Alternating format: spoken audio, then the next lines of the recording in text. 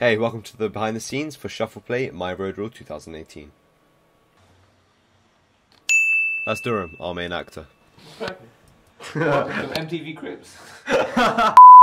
And here you'll find me, the entirety of our crew, shooting with a Nikon D3300 and the EOS 100D shooting the behind the scenes. Camera one, filming. Camera two, filming. Lights on, sound on, go!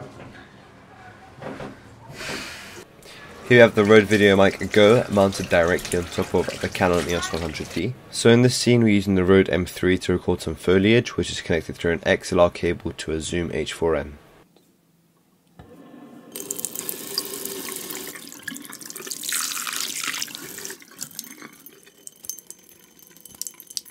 In this scene we have Alex Garris shooting with the Phantom 3 Standard Edition. So what do you want?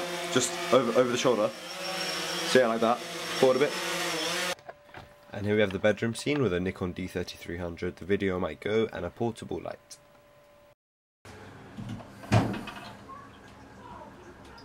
Hey, where's my toothpaste? Alright, where's my toothbrush? Oh, there it is. Three, two, one. Excellent. Excellent. Yeah, yeah, this is how we do, boy. Up in the dizzy, boy. Yeah, yeah. London, what? London, yeah.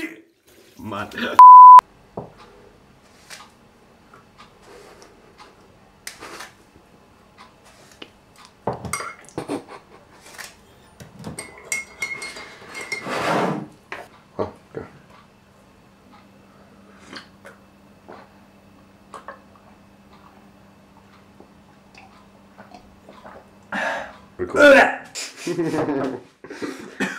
Come to my house. So behind the scenes of Shuffle Play, this is the work scene. Uh, how many hours are we into?